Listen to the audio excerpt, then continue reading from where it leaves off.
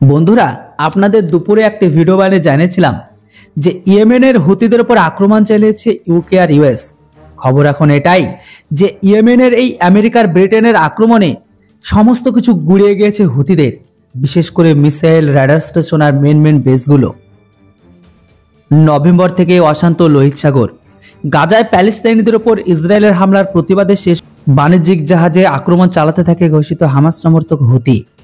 লোহিত সাগরে একের পর এক বাণিজ্যিক জাহাজের উপর হামলার ঘটনায় ইয়েমেনের বিদ্রোহী গোষ্ঠী হুতিকে চূড়ান্ত হুঁশিয়ারি দিয়েছিল আমেরিকা। তারপরেও ইরান সমর্থিত শিয়া সশস্ত্র গোষ্ঠী সংযত না হওয়ার প্রত্যাঘাত করল পশ্চিমী দুনিয়া। সংবাদ সংস্থা রয়টার সূত্র অনুসারে জানা যাচ্ছে, ইয়েমেনের হুতিদের বেশ কয়েকটি ঠিকানা হামলা হয়েছে লোহিত সাগরের মোতায়েনে আমেরিকার যুদ্ধ জাহাজ থেকে। আমেরিকার প্রতিরক্ষা সচিব লয়েড আসরিন জানিয়েছে, বাণিজ্যিক জাহাজে হুতিদের হামলার কারণে প্রত্যাঘাত। প্রেসিডেন্ট জো বাইডেন বৃহস্পতিবার রাতে স্টেটমেন্টে বলেছিল প্রয়োজনে আরও কঠোর থেকে কঠোরতম পদক্ষেপ করা হবে। অন্যদিকে হুতি বিদ্রোহীরা আমেরিকা সহ পশ্চিমী দুনিয়ায় হামলার জবাব দেওয়ার হুঁশিয়ারি দিয়েছে। প্রসঙ্গত গত উনিশে নভেম্বর থেকে অশান্ত লোহিত সাগর, কারণ গাজায় ইসরায়েলের উপর হামলার প্রতিবাদে এই সময় থেকে একের পর এক বাণিজ্যিক জাহাজে আক্রমণ চালাতে থাকে, ঘোষিত হামাস সমর্থক হুতি।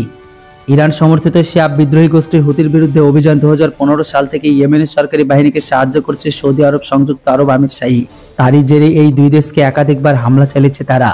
তবে সাম্প্রতিক সময়ে ইয়েমেনের রাজধানী সানার উত্তরে হুতির বিদ্রোহীদের নিয়ন্ত্রিত অঞ্চলে অভিযান শুরু করেছে সে দেশের সরকারি সেনা।